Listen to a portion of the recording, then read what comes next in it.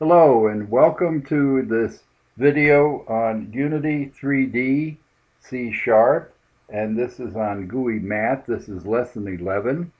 Uh, make sure that you completed lesson 10 before you start this one or this may not make sense. What I've got here obviously is some integer arithmetic that I'm showing through the GUI and I'm using all the different functions, the addition, subtraction, multiplication, division, and keep in mind this is integer arithmetic here. So you would, this looks a little bit weird, but it's uh, integer division. This is the module operator.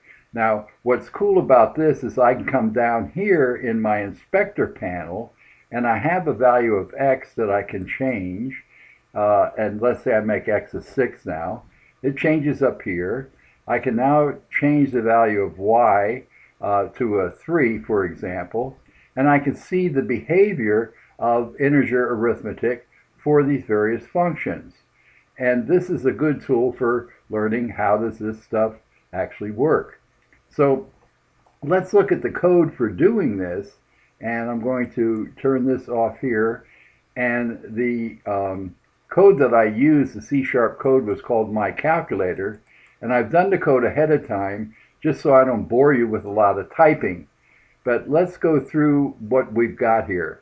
We've got the GUI skin, which we made public, and we've attached it to uh, the program. Now this is what we illustrated in the previous lesson. So if you don't understand this, please go back to the previous lesson, lesson 10. These are my two public uh, variables. Uh, uh, an, an, int x and an int y, which I initialize to 1 and a 2 here. And then I have another integer variable, which is private by default, uh, which is called the answer. And right now I initialize that to 0. Now I have the function that I made called onGUI, which is all this stuff right here. And you recall on the, the function onGUI is a reserved function in Unity and simply what it means is that this is going to be refreshed for every frame. And here's where I set the GUI skin, as I illustrated in the previous uh, video. Now, the answer is going to be the sum of x and y. And the label now is a new rectangle. That's its location, uh, where it is on x and y. This is the width, and this is the height. And now it's going to have the value of x. In this case, it'll be a 1 uh, con concatenated, concatenated with the string, and here's where I begin the string, space, plus sign, space, um, end of string, concatenated with the value of y, uh, uh, concatenated with the string, uh, space equals uh, space, uh, concatenated with the answer. And so when I do this, this is the one that gives me this dude up here. Let me move this out here so so we can see it. And I get this guy here.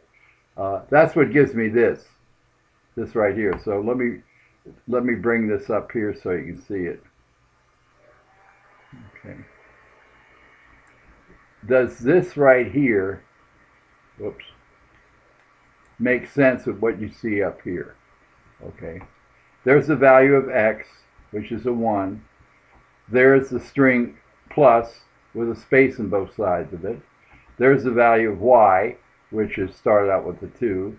And there's the answer. Where did the answer come from? For the 3, it came right from here, okay, because I did an addition.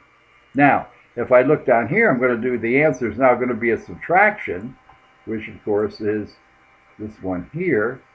And all I did is I moved this down. Instead of being a y value of 10, it now has a y value of 90, same width, uh, same height, and then the value of x, which is a 1, and then now it's a subtraction for the string, okay, and then uh, concatenate with the value of y, and so on. And that's what I did for the various ones uh, that you see. So all the stuff right here is essentially the same kind of coding.